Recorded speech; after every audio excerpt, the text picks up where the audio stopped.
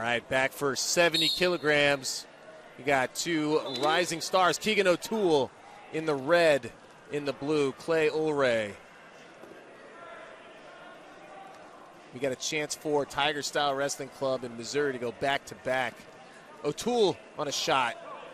He wrestles for Missouri. Ulrey.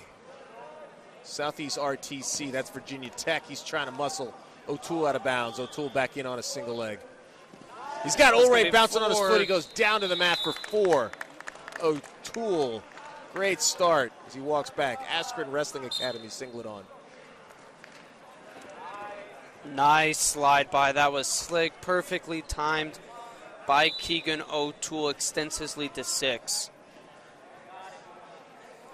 Clayton Ulrey, uh, world teamer in 2019, but O'Toole showing why he was one of the top recruits in the country coming out of high school. Yeah, huge recruit uh, from Wisconsin.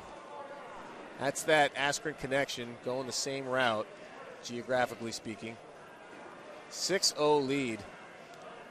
Ulrey, by far one of the most glorious heads of hair, maybe in all of wrestling, like a young Mel Gibson. Yeah, you saw it back in 2019. He was doing the permed mullet. Yeah, it was feathered. It was nice. As Ulrey's in on a single, but O'Toole's defense too strong. At least to concede any points. And now he uses that long frame.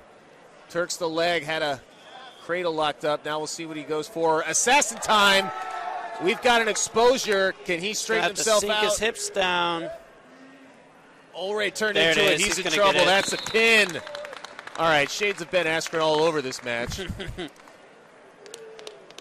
assassination at 70 kilograms. Keegan O'Toole wearing a, a Flieger, whoever Flieger is. Shouts to Flieger.